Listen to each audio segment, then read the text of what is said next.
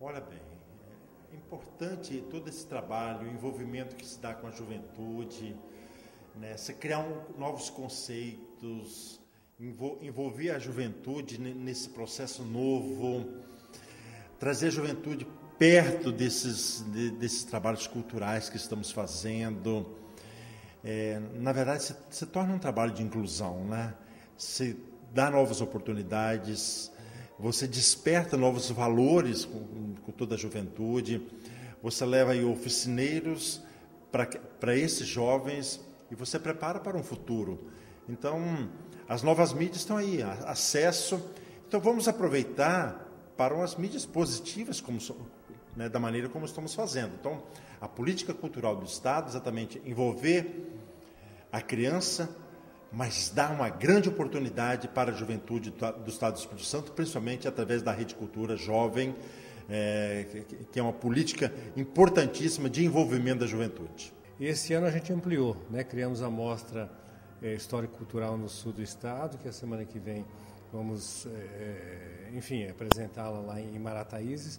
Então, a tendência desse, desse projeto, dessa ação da Rede Cultura Jovem, é crescer cada vez mais, se, se solidificar cada vez mais e se tornar, ah, com o passar do tempo, uma ação voltada à mobilização da juventude através da linguagem do audiovisual, que eu diria assim, ímpar no Brasil.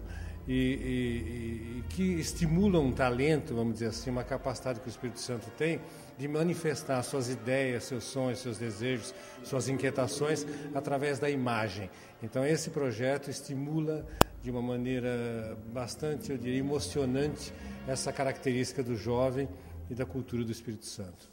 As mostras representam para nós a oportunidade de poder contribuir ainda mais, e principalmente com o governo do Estado, é no sentido de oportunizar aos jovens é, vivenciar a sétima arte, nesse caso específico das mostras, né? que eternizam aí toda a história, toda a riqueza cultural é, que existe em nossos municípios. Né? Esse agrupamento de municípios e principalmente a temática das mostras é, assim, é muito significativo, né? porque leva os jovens a refletir sobre a sua realidade. Então, na medida que empresários, no caso organizados através do Instituto, os empresários do segmento atacadista, é, podem é, apoiar, né, custeando todo esse movimento, todas essas outras mostras, inclusive, é, significa que eles estão conseguindo, de uma forma muito estruturada e muito responsável, exercer toda a sua responsabilidade, é, contribuir ainda mais com a sociedade principalmente, investindo no futuro através desses jovens que participam das mostras.